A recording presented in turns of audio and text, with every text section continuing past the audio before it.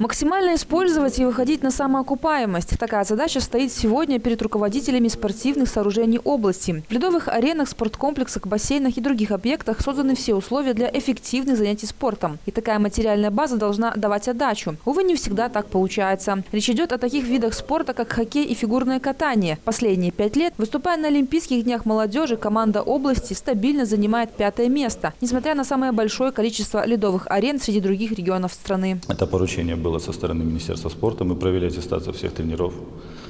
Буквально перед коллегией мы встретились с каждым тренером, переговорили.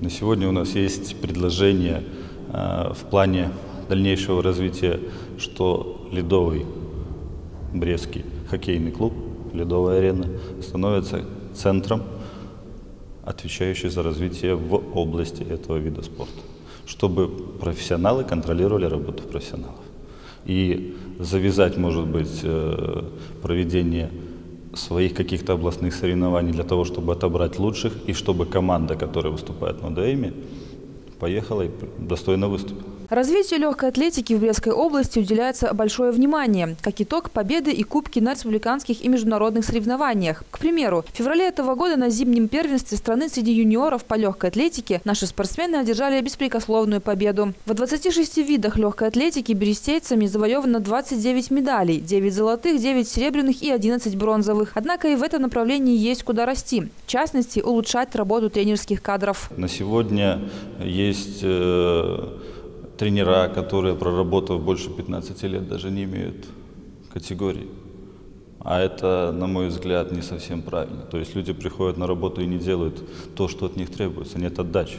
То есть они просто приходят и проводят тренировку, не работая на будущее, на резерв. Для того, чтобы быть первым, нужно держать марку. Вот, наверное, актуальность этого вопроса и вызвана тем, что нам сегодня нужно посмотреть и обратить внимание на упущение, которое уже может быть замылились где-то на местах. Подготовка к летней серии Олимпийских игр в Рио-де-Жанейро также в списке актуальных вопросов, которые были рассмотрены на заседании. На данный момент отбречную лицензию на участие получили 16 спортсменов, гарантированных участников. Однако это не окончательная цифра. Кроме этого, в области ведется работа по пропаганде Олимпиады среди населения. Нужно привлечь внимание общественности к этому событию, потому что спортсмены сами всегда говорят, им очень приятно то, когда их знают, когда за них болеют, когда следят за их успехами и достижениями. И, конечно же, задача Олимпийского комитета сделать так, чтобы